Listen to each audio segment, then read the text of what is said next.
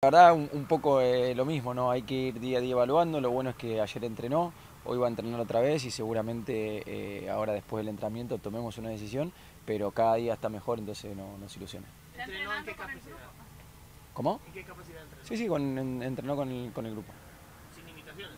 No, entrenó ayer, eh, ayer entrenó con el grupo, hicieron un reducido, así que nada, entrenó a la par.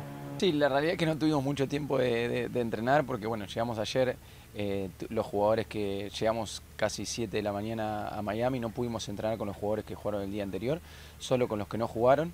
Eh, entonces, nada, trataremos de evaluar hoy eh, más que nada físicamente cómo están los jugadores y tomar una decisión de cara al partido. Sabemos que es importante, así que nada, trataremos de hacerlo mejor.